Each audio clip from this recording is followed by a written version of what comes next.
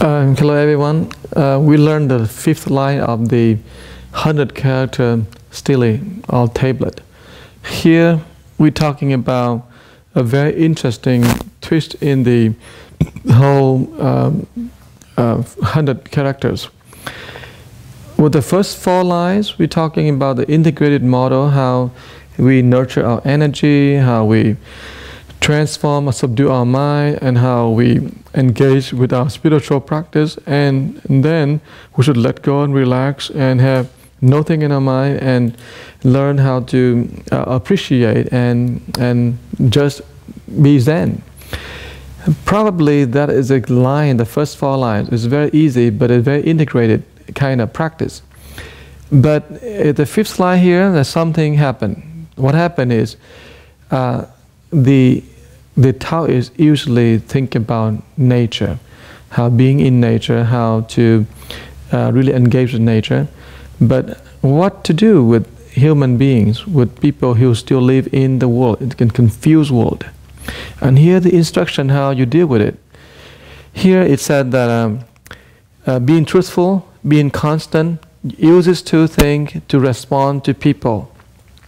So it take into consideration of dealing with the people in the human world. So it's not that if you practice, then you need to go to the mountain and forget about the rest of the world and be so happy with nature. No, uh, you want to be down here with everyone, but with whole different attitude.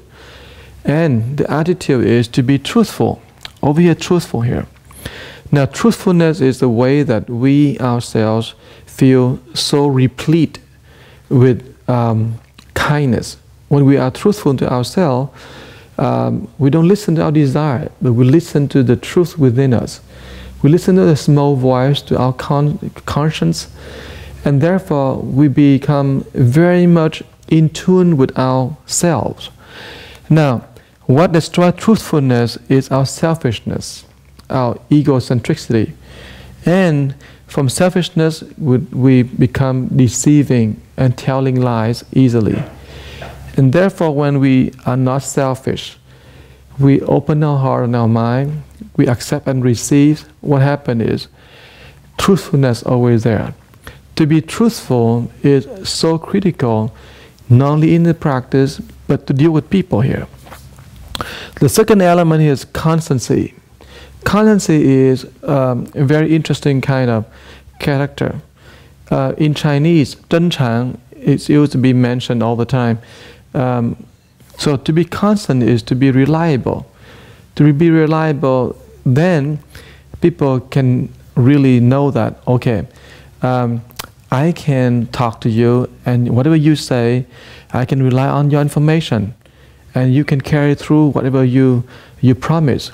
So reliability is also the constancy. But usually it's be destroyed because a biased view, a partial view, a wrong view. So our view, sometimes we take side with this person, we take side with that person, we take side with this view, we take side with that view. Being partial can really destroy the constancy or the reliability of a person. So you, we want to be truthful, reliable when we respond, we deal with people and deal with things. Now it seems to be a very simple thing, but it's, it's a very key for us to have less afflictions.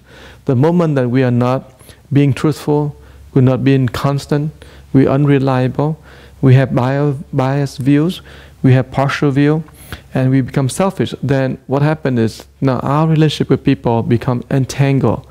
Once it's entangled, we have all kind of afflictions, we have all, all kind of troubles come to us.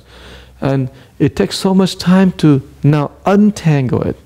When it tangle up, it takes so much time to untangle it.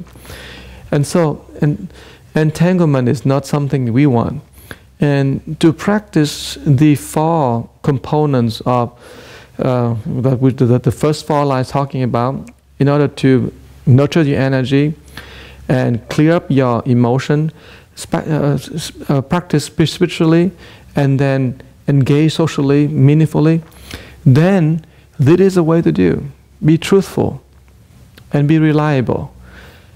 But the whole dynamics behind, if you see it, is about being a good person, really, really good person and being reliable. And that is the very key for the practice. Sometimes we think practice is like a technical thing. We want to meditate, and get to somewhere, and we think that there is something down the line that after we practice for five or ten years and we get somewhere, we'll be somebody else.